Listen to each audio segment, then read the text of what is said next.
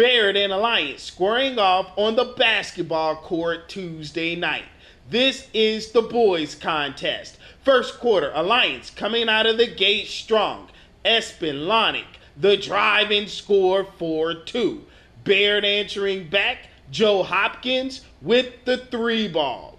But this one belonging to Alliance. It's Lonick again scoring the bucket. Alliance goes on to get the win 77 38 over Bayard on the boys' side.